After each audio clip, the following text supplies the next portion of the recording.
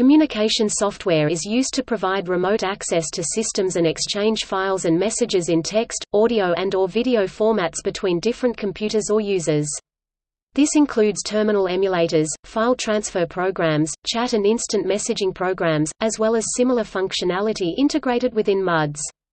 The term is also applied to software operating a bulletin board system, but seldom to that operating a computer network or stored program control exchange.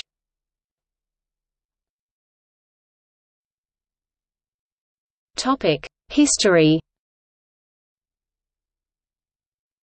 Email started in 1965 as a way for multiple users of a time-sharing mainframe computer to communicate.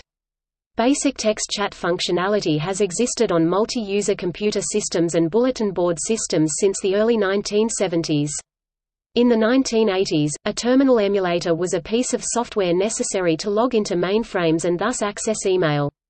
Prior to the rise of the Internet, computer files were exchanged over dial-up lines, requiring ways to send binary files over communication systems that were primarily intended for plain text. Programs implementing special transfer modes were implemented using various de facto standards, most notably Kermit.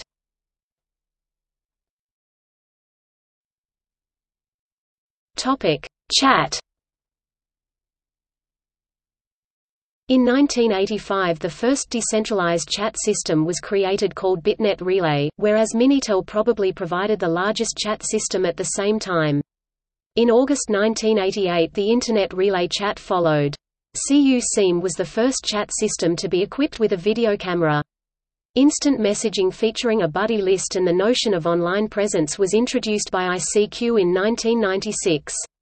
In the days of the Internet boom, web chats were very popular, too. Chatting is a real-time conversation or message exchange that takes place in public or in private groupings called chat rooms.